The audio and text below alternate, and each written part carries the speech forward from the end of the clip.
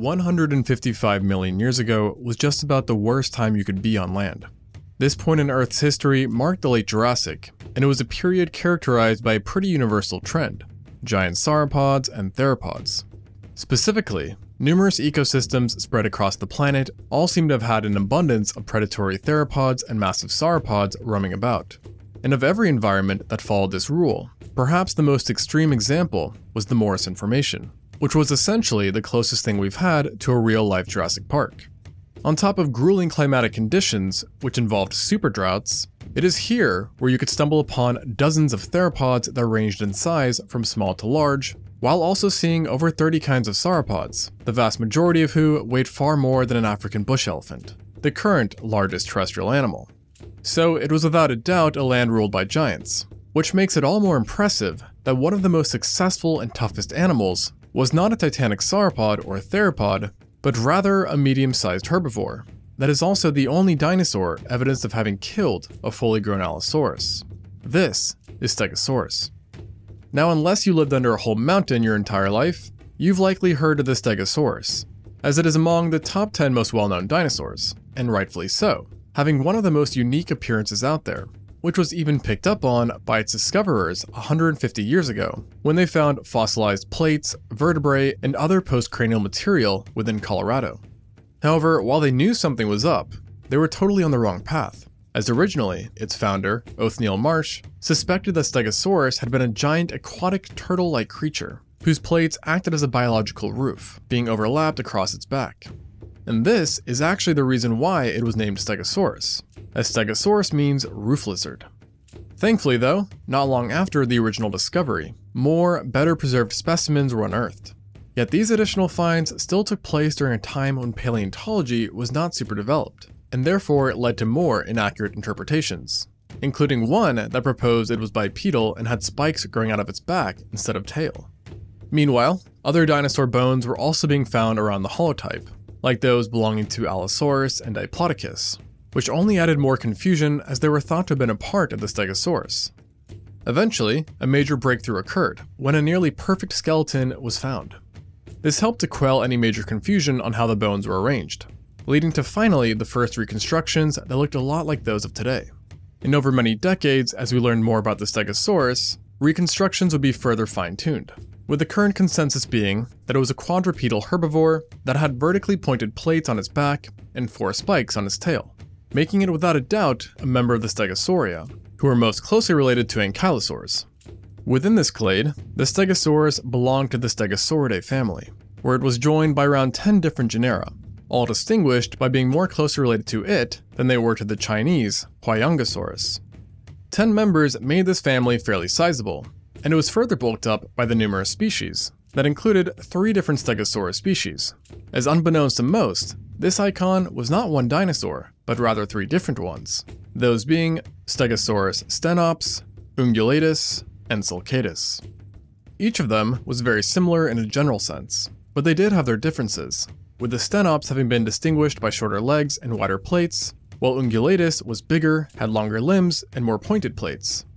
Finally, you had the sulcatus, which donned highly unique tail spikes that were abnormally large and possessed big bases giving it a distinct appearance that has led to a few even pushing for it to be considered its own genus.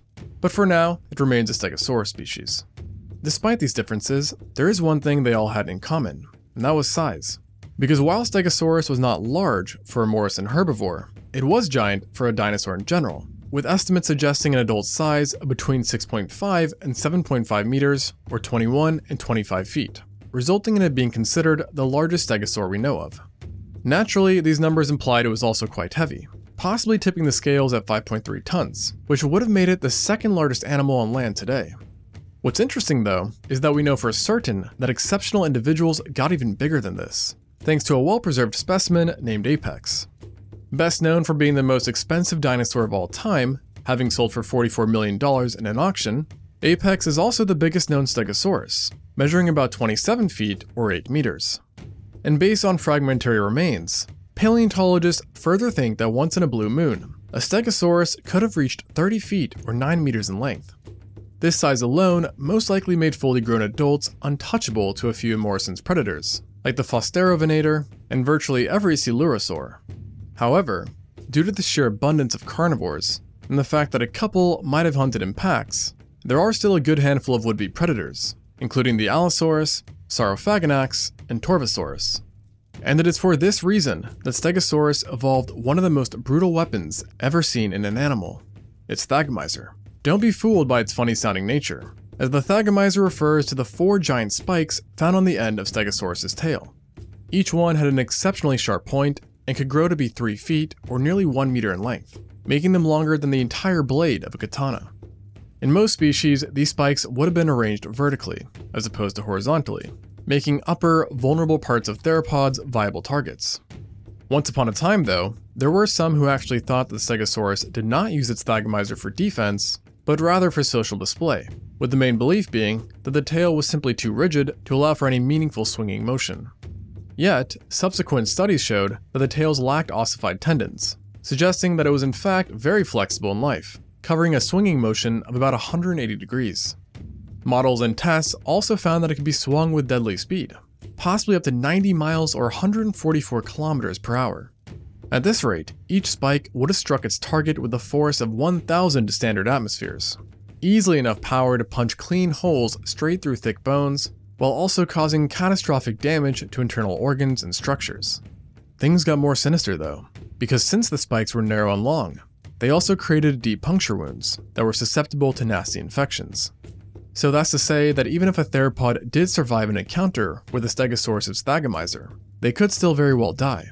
And this is actually showcased by a rare fossil that represents just about the most unfortunate dinosaur ever discovered. To be exact, a 147 million year old Allosaurus was found in Wyoming that had a peculiar injury to its crotch or pelvis. Talk about unfortunate placement.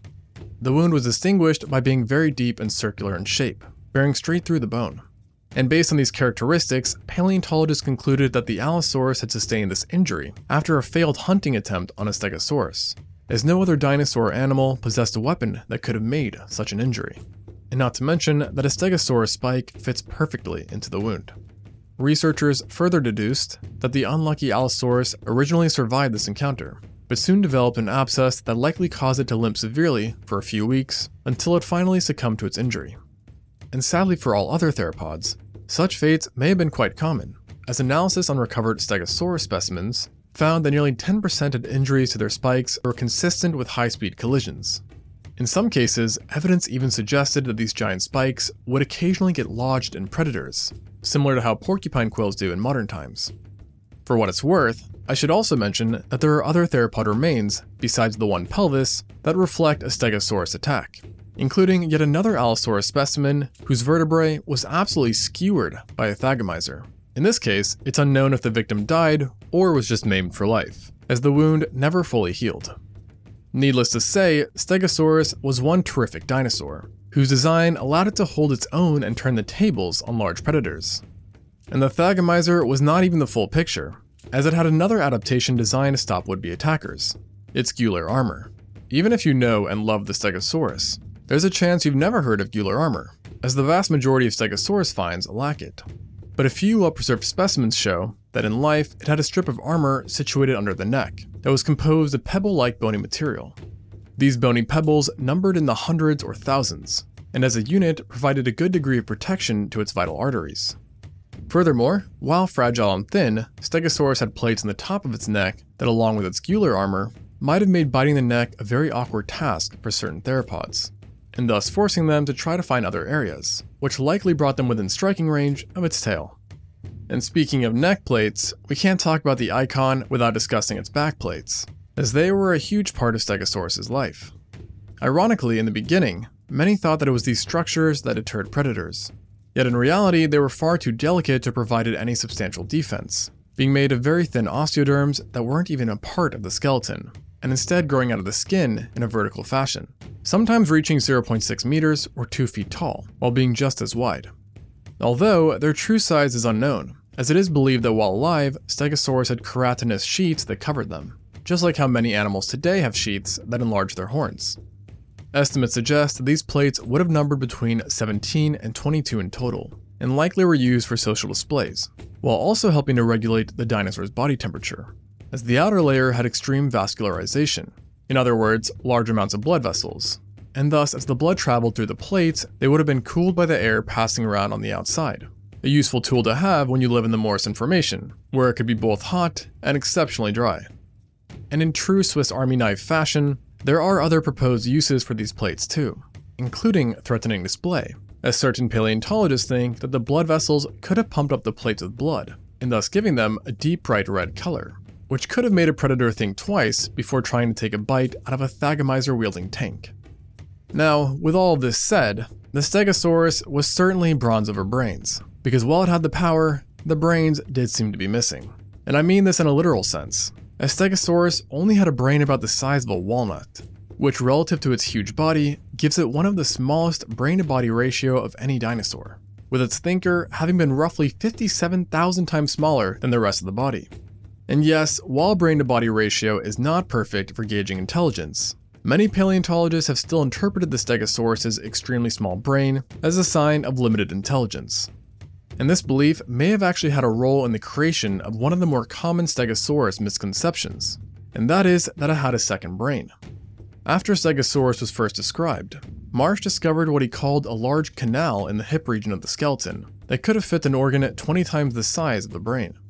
To him, this organ was another brain that he theorized was used to control the back part of the body, and could be used to supercharge the Stegosaurus's decision-making skills during attacks. Although we now know, of course, that this is not correct. And instead, it turns out that this canal housed a structure not unique to Stegosaurus, a glycogen body. The exact function of this organ is unknown, but scientists reckon that it has something to do with regulating glycogen throughout its body. Surprise, surprise.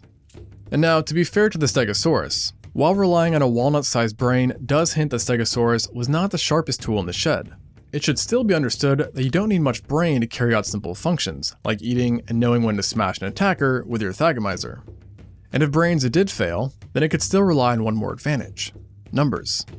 Like many Jurassic herbivorous dinosaurs, stegosaurs lived in herds, at least sometimes, as discovered trackways in Colorado showed a group of four to five individuals traveling in the same direction, while another trackway showed a baby and presumably their parent walking together. This would have helped to dramatically increase protection, especially for the young, and was essential in the Morrison Formation given the number of carnivores. Yet for large adults, it was a different story, as they likely needed little protection, spending a good chunk of their lives as solitary creatures, and demonstrating just how effective the Stegosaurus was at keeping predators at bay. On top of this, while not specifically a carnivore deterrent, the Stegosaurus had some pretty messed up teeth too, that were unlike anything seen in other ornithischians, as its teeth, numbering around 78, had strange indentations on the top that gave them the appearance of being a bit sharp. Not to worry though, because Stegosaurus was still undoubtedly a herbivore. It's just that we aren't really sure how these odd teeth functioned, with the best guess being that they were designed to snip plants in half and partially grind material with each bite, which based upon its skull, operated in an up and down fashion. Given its habitat, paleontologists think that the plants included in its diet consisted of mosses, ferns, horsetails, cycads, and conifers, which were abundant during the late Jurassic. It was perhaps thanks to these plants that Stegosaurus achieved a considerable range, showing up in five different states in North America. And not to mention that it went a bit international too, as remains belonging to the Ungulatus species were discovered in Portugal's Lourinhã Formation, at first glance, it might seem weird that Stegosaurus was both in North America and Europe.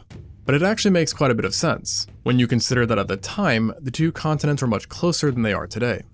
And the Stegosauria group might have actually first started out in Europe, before migrating over to North America at some point.